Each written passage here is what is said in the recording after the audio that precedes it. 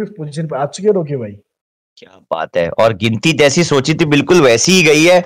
101 point ओरेंगुटान के। और जो छह टीमें मैंने टॉप छह में बोली थी, वही टॉप छह टीमें मुझे दिख रही टीएसजी सिर्फ़ दो पॉइंट के अंतर से चूक गई। बट आज टीएसजी को यू नो किसी और को ब्लेम नहीं कर सकते। सिर्फ़ और सिर्फ़ अपने आप को ही थोड़ा सा मंचन करना पड़ेगी कहाँ गलती हुई इनसे।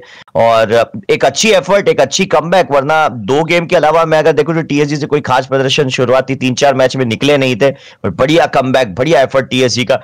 इकसठ पॉइंट्स के साथ बैक फॉर्मस आठवें पैदा पे ओनम लामा 53